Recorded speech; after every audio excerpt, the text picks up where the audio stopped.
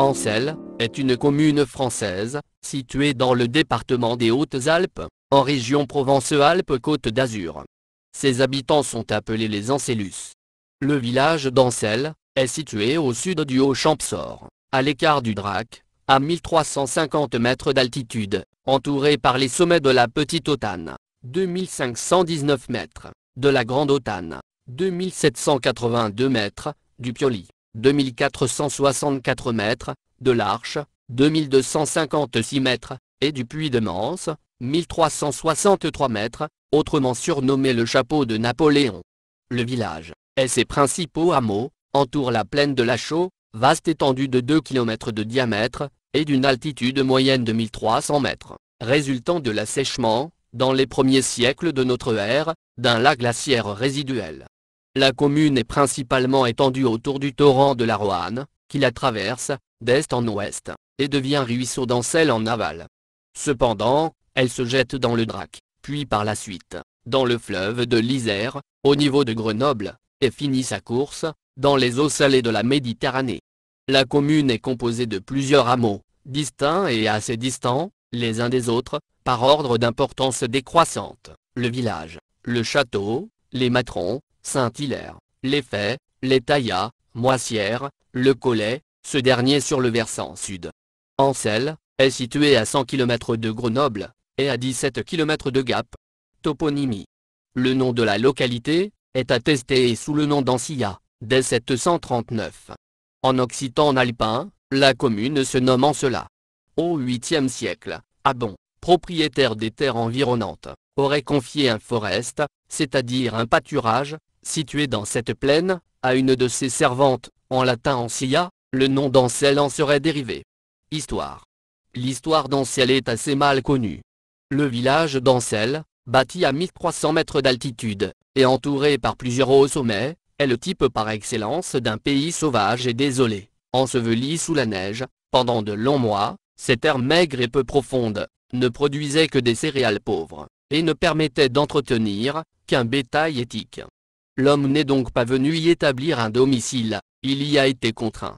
En effet, fixé en 412, dans le Dauphiné, les Visigoths, durent être refoulés dans les hautes vallées, vers 438, par les invasions burgondes. En 739, une communauté y est établie, dépendant de l'abbaye de la Novalaise.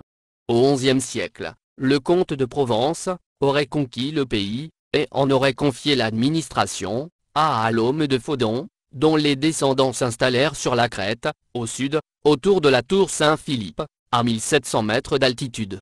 Le village de Faudon fut abandonné dès le XIIIe siècle, et un nouveau village construit en bordure de la plaine.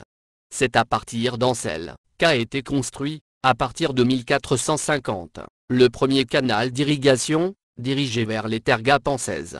Au début du XVIe siècle, les seigneurs du lieu, vendirent leurs possessions, à des nobles gapençais, dont la famille Rambaud, qui se fit construire un château, un peu à l'écart du village, au sud du ruisseau d'Ancel.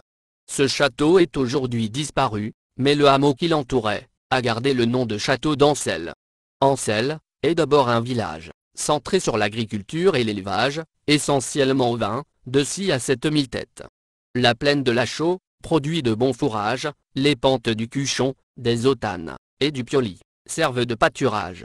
Depuis les années 1950, Ancel a développé un tourisme familial, destiné pour l'essentiel aux Marseillais, ski en hiver, promenade en été, Ancel, n'a rien d'une station comparable à Merlette, ou à Super Créée en 1953, la station de ski est gérée par la commune.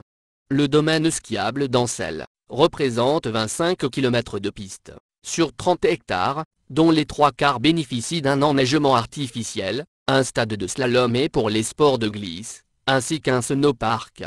Il se déroule dans un cadre de moyenne montagne, habillé d'une forêt de mélèze. Le domaine skiable alpin est composé de 15 pistes, 6 vertes, 5 bleues, 2 rouges et 2 noires.